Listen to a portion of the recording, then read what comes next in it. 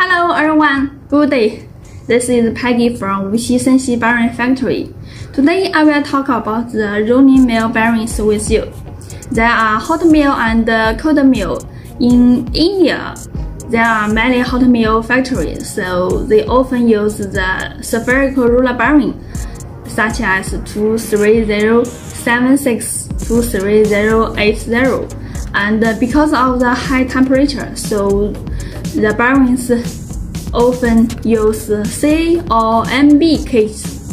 But in Vietnam, because there are many mill factories, uh, they often use the cylinder roller bearing, angular contact ball bearing, and uh, roller bearing, such as FCD uh, 689650, FC22380. FCD means four rows uh, cylinder roller bearing and FC means double rows cylinder roller bearing.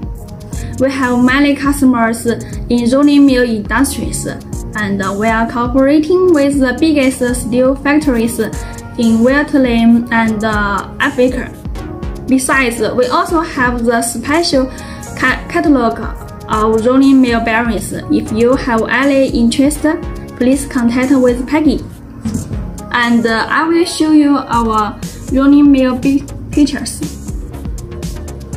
Uh, this is uh, angular contact ball bearing 7020 and this is uh, double rows cylinder roller bearing.